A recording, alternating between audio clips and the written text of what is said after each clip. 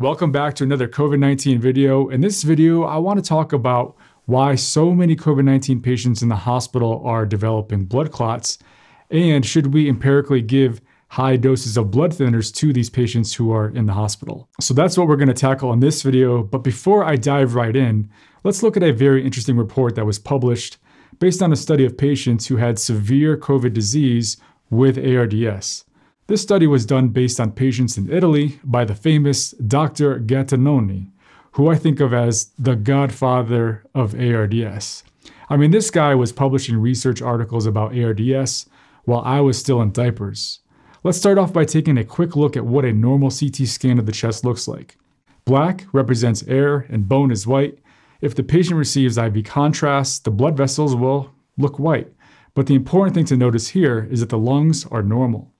Now, let's take a look at Dr. Gattinoni's study. What he found in his study of COVID patients with severe ARDS is that there seems to be two types of ARDS. First, take a look at the PO2 to FiO2 ratios of the patients in the study, where it says 95 millimeters mercury and 84 millimeters mercury. These are extremely low levels of oxygen. These numbers are telling us that these lungs in these patients are having a very difficult time getting oxygen into their blood. In half the patients in this study, the patients had the typical ARDS that we all know and hate, which causes tons of inflammation with fluid and debris filling the alveoli, where the chest x-ray and the CT scan of the lungs looks horrible. This is depicted in the bottom CT scan. Let's take a closer look. Look at all that grayish crap filling up the lungs. That's not supposed to be there. This type of ARDS is what's known as the H type. H refers to high elastance, meaning lots of stiffness in the lungs. These lungs are very stiff, which does not bode well for lung function. But then there's this other type of ARDS, which the other half of the patients in this study had. These patients' lungs have some of that grayish crap, meaning there's some inflammation going on there, but it's not as much as you would expect given the degree of their hypoxemia. In other words, the oxygen levels are far below what you would expect given the degree of inflammation that you're seeing in the lungs. This type of ARDS is known as the L type, meaning these patients have low elastance, meaning their lungs aren't very stiff. So with this L phenotype, there's something else besides inflammation that is contributing towards their very low oxygen levels. And it can only be one of two things, or a combination of these two things. And that is one, constriction of the arteries that deliver blood to the lungs. In other words, pulmonary vasoconstriction. And this is essentially pulmonary hypertension, meaning the pressure in these arteries is high. This means that there's less blood being sent to the lungs to pick up oxygen, and this by itself can, can cause low oxygen levels. The second thing is the development of clots within these arteries and capillaries. And this also impairs the ability of the lungs to get oxygen into the blood. So, what exactly are blood clots and why are they so dangerous? Blood clots don't normally form in the body unless we have bleeding, for example, if we cut our finger. That's how we heal, right? The clot stops further bleeding. But sometimes, some people form clots when they're not supposed to. Our blood, besides being mostly water, is made up of a bunch of different proteins with different carbohydrates and fats, and these different chemicals interact with each other. And all it takes is one piece of the puzzle to be missing or abnormal to totally throw off the balance of either clotting too much or not clotting enough.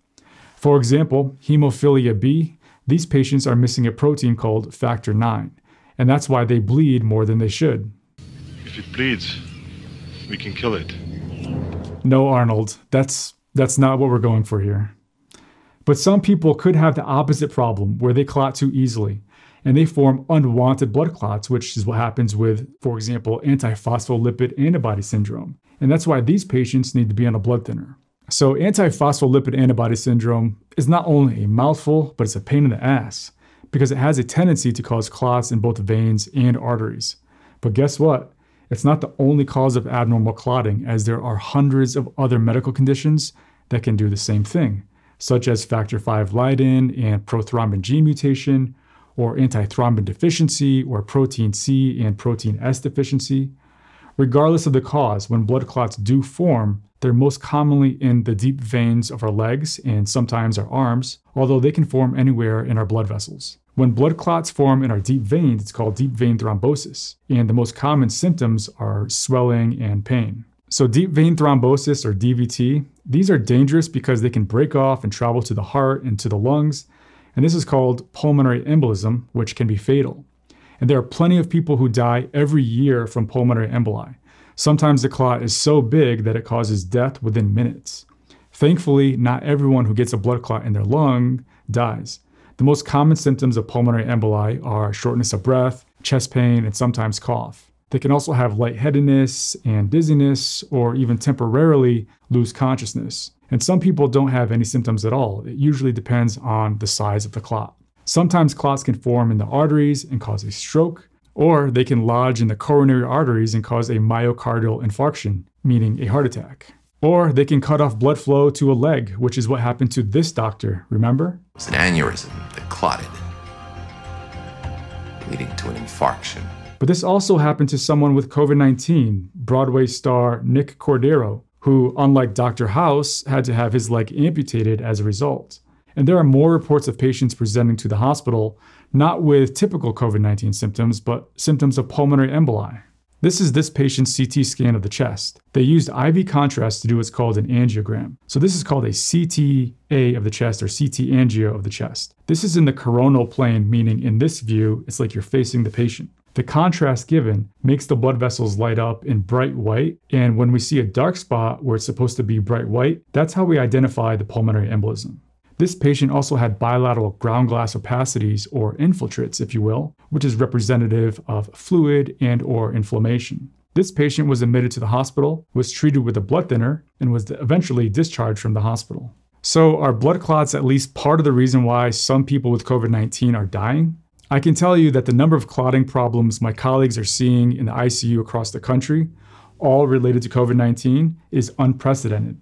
But this isn't just a bunch of doctors and nurses that I know who are reporting this. There's actually a recent Dutch study that found that 184 patients in the ICU with COVID 19 pneumonia, 20% of those patients were having clotting issues. There was also a similar study in Wuhan where 25% of hospitalized COVID patients had clots. Why and how is SARS coronavirus 2, which invades the cells of the lungs, specifically the type 2 alveoli, how is that causing blood clots to form in the body? When someone has a severe case of COVID 19, it's causing a ton of inflammation within the lungs. This inflammation is what's triggering the blood clots to develop. We knew this happens with ARDS even before COVID 19 came around. So, if you saw my video on how COVID kills, you may recall how I was talking about how with ARDS, these patients usually develop microthrombi, meaning tiny clots that form in the tiny blood vessels in the lungs. And these microthrombi can combine to form bigger thrombi, meaning bigger clots. This happens at least partly because of the cytokine storm that develops as a result of the infection. Blood clots are also a concern with seriously ill people in general, regardless of what illness they have, because these patients aren't moving much, if at all, and the lack of movement further predisposes one to having clots.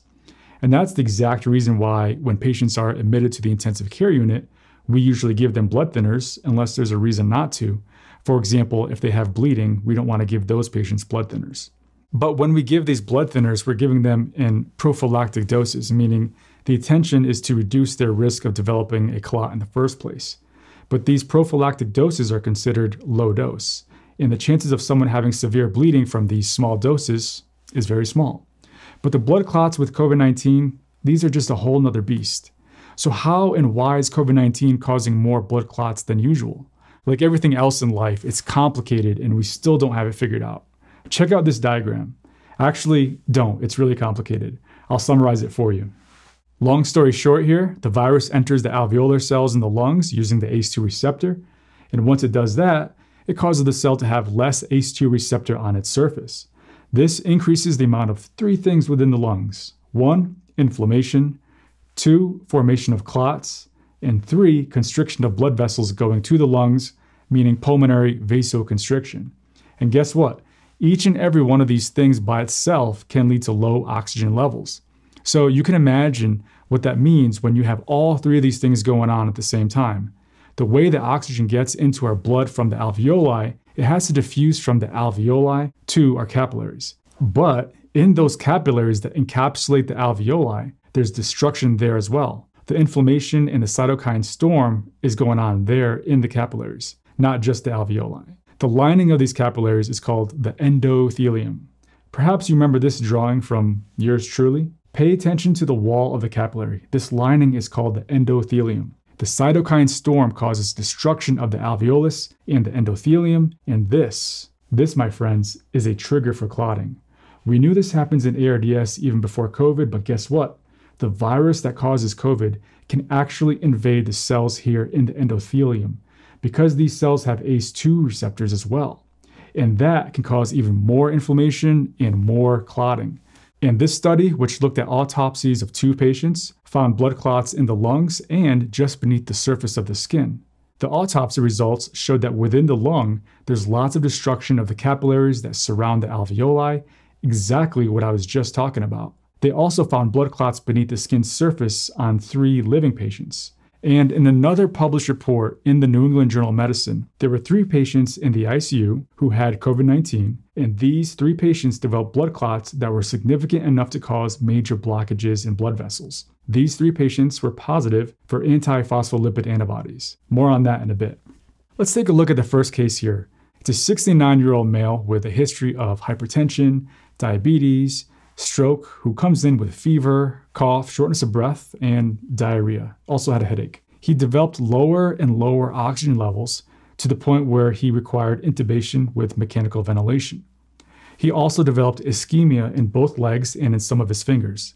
Ischemia means he's not getting enough blood flow to a certain part of his body, and in his case, it was to his fingers and to his legs. And when they did a CT scan of his head, they found that he had multiple areas of strokes. When they did blood work on him, he had low levels of platelets, he had elevated prothrombin time and elevated partial thromboplastin time. He also had elevated levels of fibrinogen and D dimer. As it turns out, he was positive for anti-cardiolipin IgA antibodies, as well as anti beta 2 glycoprotein IgA and IgG antibodies. So, what's the diagnosis? That's right, anti phospholipid antibody syndrome. The other two patients in these case reports basically had the same story and the same diagnosis. These antibodies that I just mentioned are not in the blood for the vast majority of people. These antiphospholipid antibodies are bad because they attack the phospholipid proteins in our body. And if it's severe enough, they can cause major clots to form in our blood vessels. So antiphospholipid antibody syndrome, it's a condition that depends on someone's genetics. But these antibodies can also arise transiently in patients with critical illness and various infections. So, do all patients with COVID 19 who have blood clots, do they all have this transient antiphospholipid antibody syndrome? We don't know yet. So, here's what we know so far. Even though there are lots of gaps in our knowledge with this disease, there's all the stuff that happens in the lungs that we just talked about. But also, there's the cytokine storm that is triggered in the lungs that can affect other organs in the body, such as the heart, the brain, and the kidneys. And as if that's not bad enough, just about all the other organs in the body have ACE2 receptors, such as the heart, the brain, and the kidneys. So inside the body, COVID is causing a category 10 hurricane in some people, about 3 to 4% of people who get the virus. So besides looking at drugs to treat the infection, we also have to consider giving big doses of blood thinners to patients with severe disease, even if we're not able to diagnose them as having clots. Now, some might say, well, doc, why can't you just diagnose them with clots? Easier said than done, even during normal times, but it's especially harder to do this during a pandemic. Every test we do, whether it's an ultrasound of the legs looking for clots there, whether it's getting a CT scan of the lungs looking for a clot, or a CT of the brain looking for a clot that's causing stroke there, all of these things require more PPE, more potential exposure to the healthcare staff, and sometimes doing these things have more risk to the patient during certain tests. For example, like doing a CT of the chest where we give IV contrast. All these things have risks. But even if we do all these tests and they come back negative, there's still the possibility of a false negative because no test has 100% sensitivity and 100% specificity. In other words, no test is 100% accurate. So there's going to be times where you have a very sick patient with COVID 19 in the ICU and you don't know if they have blood clots. The question becomes should you give them a high dose blood thinner, meaning should you treat them as if they have blood clots? Not an easy question to answer because the risk of life threatening bleeding increases when you give them that high dose blood thinner. And based on the studies I mentioned before, it looks like about 25% of COVID patients who are in the ICU do have clots. So, one clue that might make us more inclined to give high doses of blood thinners would be to check their D dimer level in the blood, because very high D dimer levels are associated with more severe COVID disease. The problem with that is just because someone has very high D dimer levels doesn't necessarily mean that they have clots, because it's a very non specific test.